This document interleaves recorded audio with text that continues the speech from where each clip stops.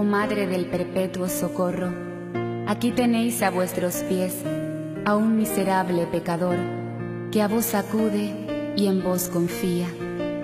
Madre de misericordia, tened piedad de mí.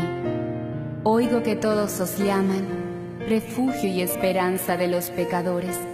Sed, pues, el refugio y la esperanza mía. Socorredme por amor a Jesucristo.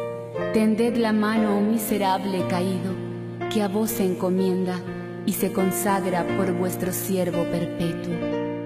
Bendigo y doy gracias a Dios, que por su misericordia me ha concedido esta confianza en vos, que yo miro como una prenda segura de mi salvación eterna.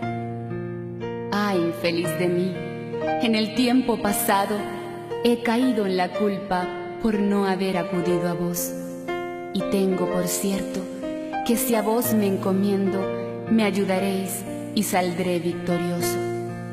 Pero este es mi temor, que en las ocasiones de pecar deje de llamaros en mi ayuda y así me pierda.